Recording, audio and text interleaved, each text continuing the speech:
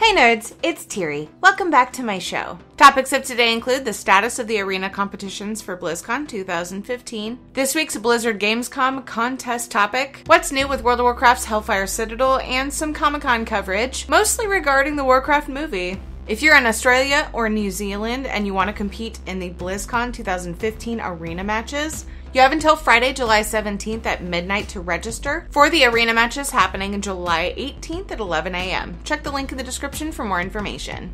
Leading up until Gamescom, Blizzard is holding a contest and giving away lots of digital loot. If you're interested, hashtag battle and hashtag Blizz GC 2015, how you like to compete in or out of game.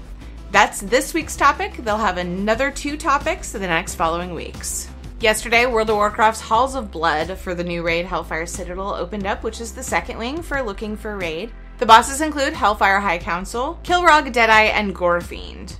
You need an item level of 650 to queue up for this looking for raid wing, which you can obtain item level 675 or item level 685 gear, as well as the Tomes of Chaos needed for We Don't Need No Library card, which is a quest leg of the legendary ring quest. Check the link in the description for Wowhead's guides and loot tables for Halls of Blood.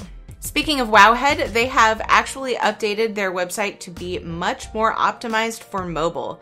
So if you've gone to wowhead.com on your phone and been frustrated because it was hard to navigate, they've fixed it. It's much more streamlined and easier to use on your phone. Check it out. On to a little of the Comic Con coverage of the Warcraft movie. We found out quite a few things. There are many panels, many sites. Many, many people have put together the images and video clips that they have gathered from Comic Con. So, of course, everything I've found regarding this will be linked in the description because I love all the links, okay? I go to YouTube videos and when I find something out or hear somebody talking about something and I don't get everything that I want from them, I want to know where I can find more. So I always link stuff. Don't worry about it. I got you. Legendary, which is the company who is making the Warcraft movie led by Duncan Jones, has released a video Warcraft Skies of Azeroth on their YouTube channel. This video is best viewed on your phone if you get the Legendary VR app and have Google Cardboard. Okay, so it's a thing that you put on your phone and you go like this and it makes the image like spherical, like 360 and almost 3D like. If the video is optimized for that, of course. You can also just view it on your computer, which honestly mostly satisfies me. I wouldn't mind seeing it with the Google Cardboard, but I don't really feel like buying the Google Cardboard either. Shh. If you go to Legendary's Facebook, you can actually share one of their posts if you scroll down and find it regarding the Google Cardboard, and you can enter to win your own set. Otherwise, Google Google Cardboard, and you'll see a place where you can purchase a set of your own. As you can see here, though, there is an in browser version which requires Chrome to be able to look around. You can click with your mouse and actually look around as you fly over Stormwind. It's pretty badass. I actually enjoyed it, just in the browser. Now, what I would love to see is all you nerds talking about what's different in this layout of Stormwind than the in game version of Stormwind because there are things. Even my little eyes saw that. Aside from the Skies of Azeroth teaser we were shown at Comic Con, we were also told about a graphic novel, Warcraft Bonds of Brotherhood. It leads up and kind of sets the stage for the Warcraft movie and gives you some pre lore, if you will. Bonds of Brotherhood was said to be released in May 2016, mere weeks before the release of the Warcraft movie, June 10th. In addition to Skies of Azeroth showing us the layout and beauty of our well known Stormwind at Comic Con, they also had live props that were used in the movie so you can see the characters and items that were used. Just use your imagination and just make the movie in your head. Save all the dollars. There's a video overview of many of the characters and props here, and there are also many images in the links below.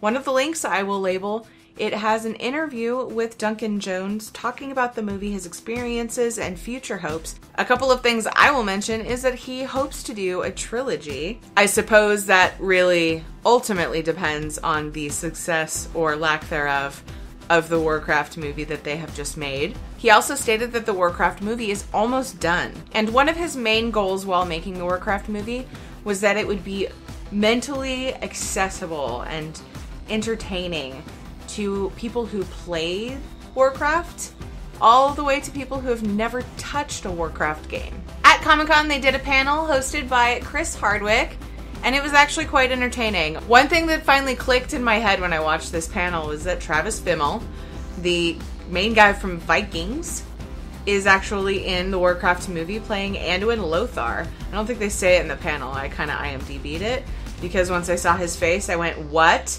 He's an orc, right? Duh. And then I looked. He's playing Anduin. Okay, whatever. We'll see. Anyway, if you'd like to see the panel with the cast and some behind the scenes faces of Warcraft, check the annotation here. Warcraft Chronicles, the book, Volume 1, is an up and coming way to learn more about the lore behind Warcraft. Volume 1 centers around Warcraft 1, and I guess from there they'll just be moving on up to uh, the whole. It'd be really cool to see how the stories connect. Some of you know the lore, like really know the lore. Some of the people I've seen ask questions at past BlizzCons know the freaking lore. I don't. I'm bad at following in game lore. I'm so terrible, so I will look forward to reading this myself. Then I can be that nerd. And last but not least, before I send you off to all of the many links regarding the Warcraft movie, images, and information, another thing Comic Con brought us was some exclusive loot at the Warcraft store. I mentioned it in a previous video, but we didn't know about Stitches. Stitches is freaking adorable. He's a plush and he's spilling his guts just like in the game. Other things include the Murloc Pop 3 pack, the White Murloc mug, the Art of Warcraft, the Legendary Lanyard, Hearthstone Lanyard, and Grommash statue. Links in the description, but I mean, you can see most of it here if you click this annotation. Those of us that don't like to scroll, you know, they made a video for us. Well, that is my show for today. Thank you so much for watching. I appreciate your support. Definitely check back every Wednesday for news and gaming videos in between. I live stream on Monday and Thursday at 1:30 p.m. Pacific Time. Monday playing Final Fantasy XIV and Thursday playing Grand Theft Auto 5. Friday at 7:40 p.m. Pacific Time, I play World of Warcraft and raid with my guild. All streams are done at twitch.tv/tirinei. Side note, this Thursday I will not be streaming because I have some appointments in the way of that, but I will see you Friday at 7:40 Pacific Time at raid time. I hope to see you there, but until then, have a great rest of your day. I'll talk to you soon. I love you all. Bye.